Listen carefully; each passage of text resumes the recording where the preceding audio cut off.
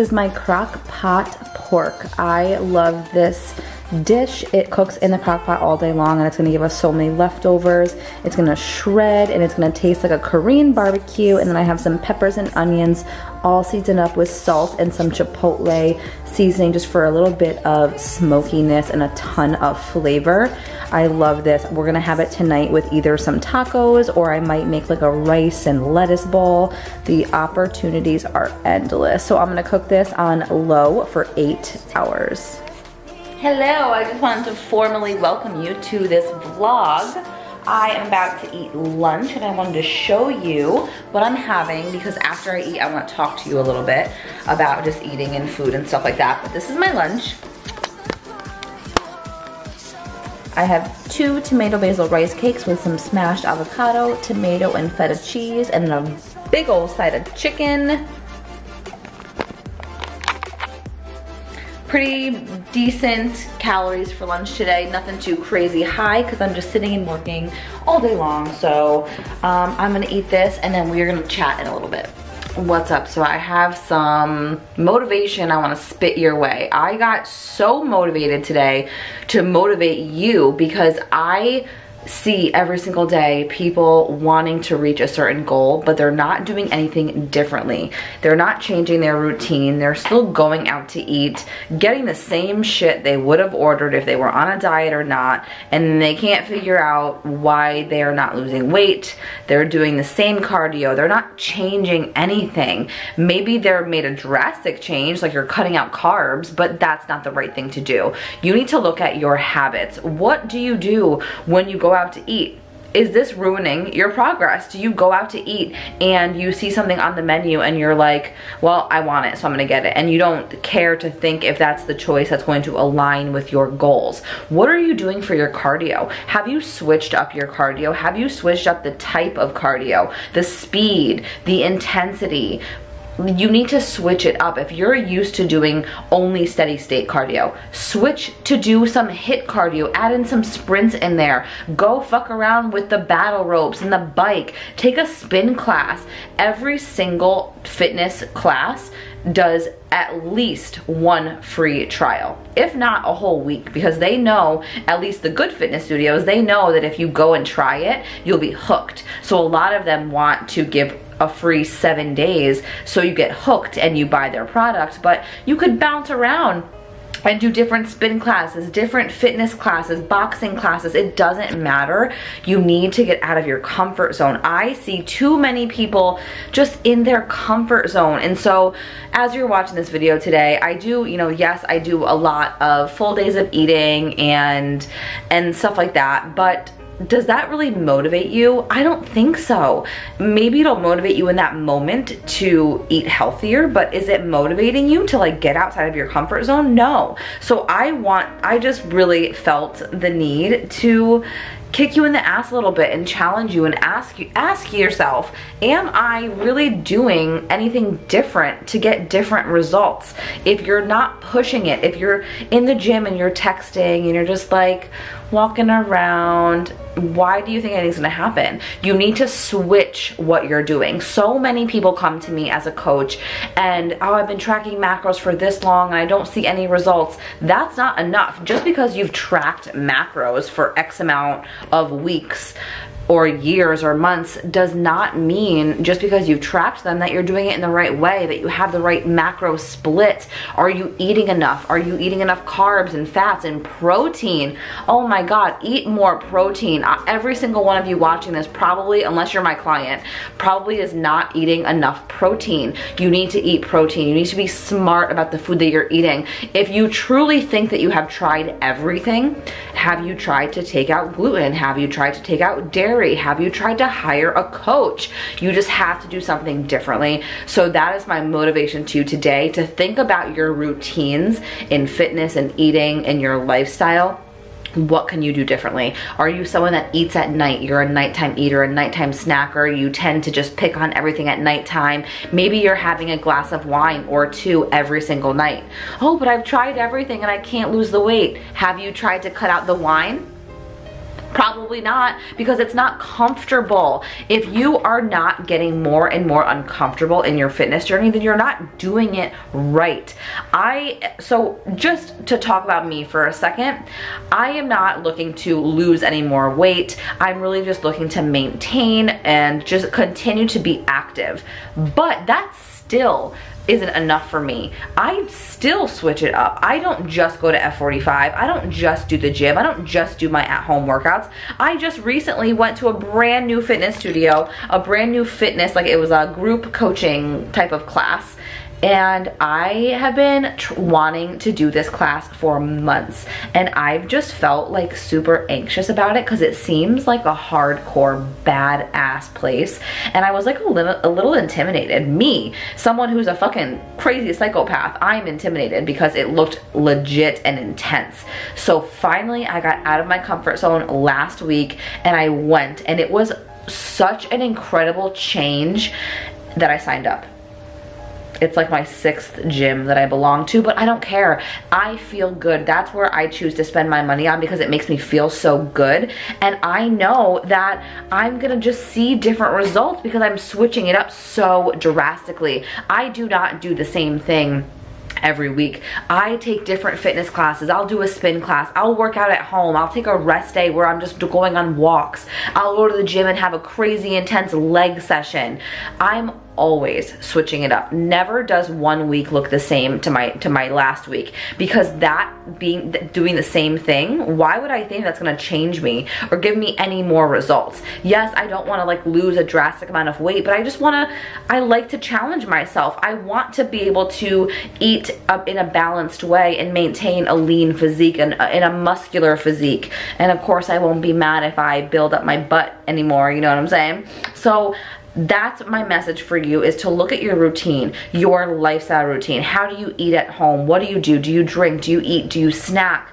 Do you limit your carbs? Maybe that's the reason why you're not seeing results because you're not eating enough carbs. You're not giving your body enough energy. So your body is holding on to all of your fat. Look at your cardio. Are you always doing the same type of cardio? Are you always doing a certain amount of days of steady state, a certain amount of days of HIIT? Switch it up. Are you doing the same cardio equipment? Are you doing the same intervals? Switch it up. When you go to the gym, are you nervous to go squat?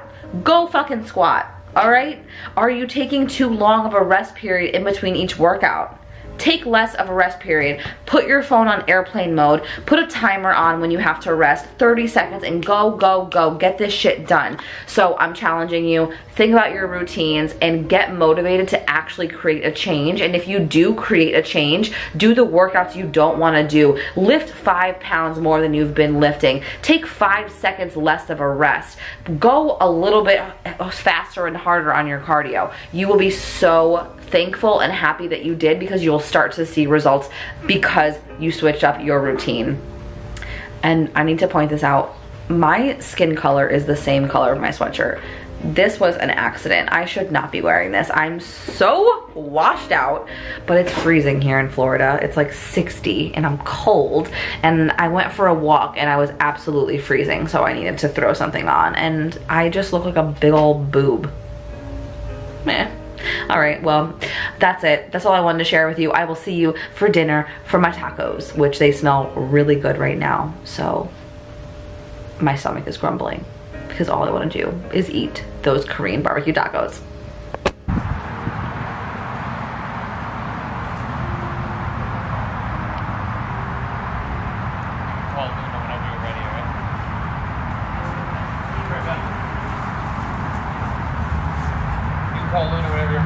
Luna.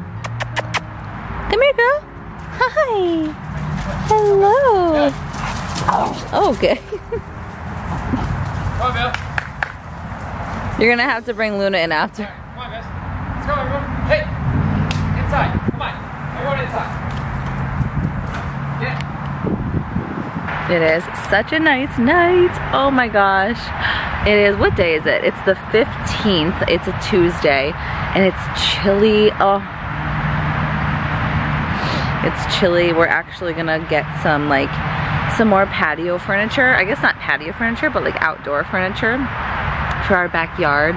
And we're gonna do like a fire pit because January, February, and March are like the best months in Florida. It is so chilly today. I love it. So I'm just out here enjoying a glass of wine. I was just really feeling like a glass of wine tonight. I don't drink wine too often.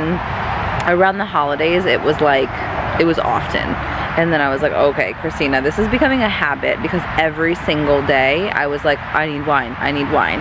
And I don't want it to be a habit, um, but with days that I just am like, oh, I need some wine. Give me some wine to relax. Wine makes me happy. So I am allowing myself a glass of wine tonight. I am drinking Bogle Chardonnay. I really like it. It's super cheap. It's $8.99 I think Brian said at the store. And it's crazy because at the restaurant, the glass is I think $15 at the restaurant we go to. The way that I'm able to drink wine and maintain my physique is simply because of my metabolism and all the work that I've put in prior. You can really have that balance to live a life of drinking wine and eating good food, but reeling it back in to your diet and not letting, like this one glass of wine is not going to turn into a bottle of wine, which is gonna turn into eating out in desserts. I'm gonna stop at this glass of wine and I'm gonna enjoy my dinner tonight and tomorrow's gonna happen and I'm gonna have a great day.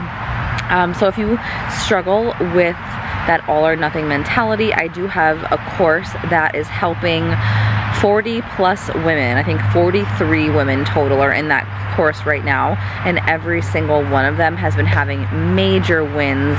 They are no longer overeating and snacking. They are completely changing their habits. They can go out to eat and on the weekends like it's so exciting to go into the Facebook group on the weekend because they are sharing how they're going out to eat and they're able to enjoy what they want at the restaurant but then go right back to eating healthy and clean when they get home. It's incredible. So if you struggle with that and you want help with that, I do have that course available. It's the Mindful Eating course.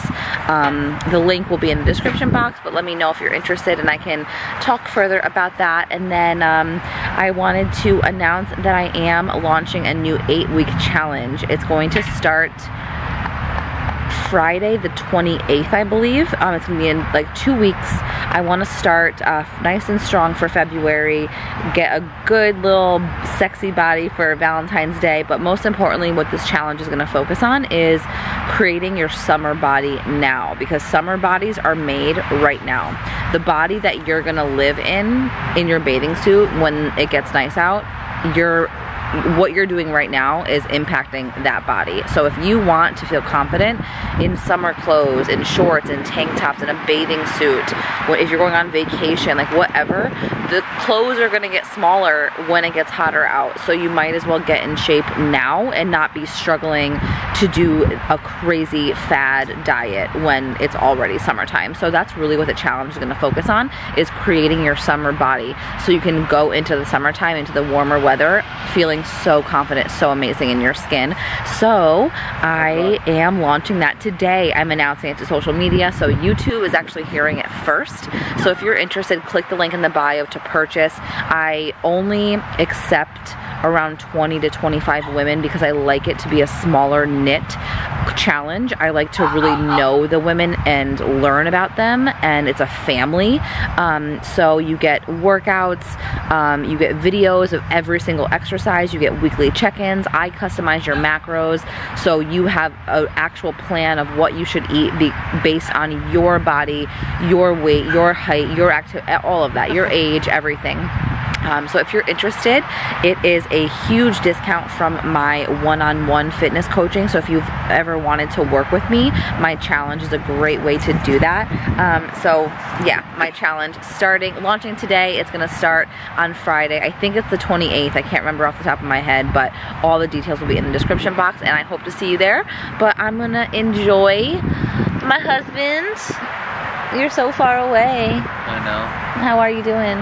Doing a little better. I did some Insta stories today saying that I haven't really been able to eat much, so I haven't really gotten to lift. I don't know if you can hear him. He's talking kind of quiet, but he's been sick.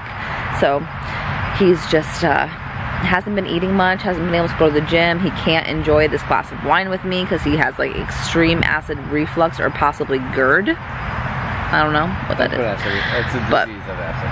I'm gonna enjoy this wine, watch the little sunset, and I will show you my dinner. And then that will probably end the vlog because I don't want it to go too long. Um, I was gonna record like a really quickie workout at home tomorrow and I was gonna put it in this vlog. But if the vlog goes too long, I'll just put it on Instagram for you. So I will see you for dinner for my little my little taco bowl salad thing. All right, here's my big old salad bowl dinner. We have shredded lettuce, I have my pork, I have some tomatoes, I cut up some bell pepper, salsa, guac, cilantro, and lemon juice. Babe is making some tacos. I'm gonna have some potatoes also because there's only two tacos. We have rice too. Oh, okay. Going to have rice, and that is what it looks like on the inside of the crock pot. So good. all the veggies. I just shredded it so easy. It, it cooked for eight hours on low. Look at these big chunks of onion. Oh my god, just like so moist with that Korean barbecue sauce. Yum! Babe, your tacos look so good. You gotta put some salsa on that bitch. I'm cutting some cilantro right now. You're hogging my dinner. I'm gonna add some chili lime on here just from for some salt.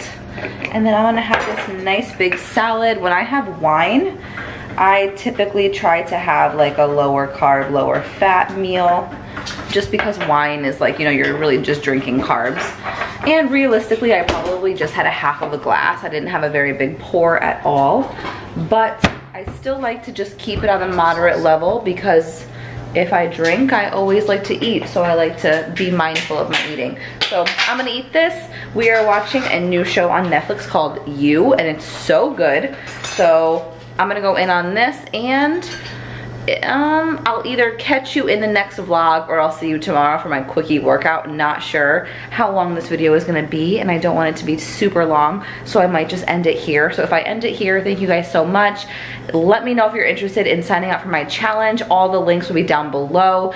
This is the first day I'm announcing my challenge and I'm only taking about 20 to 20 to 25 girls. So if you want to secure a spot for my next eight week challenge that is opening today. Click the link in the bio. I'll see you in the challenge. Catch you later.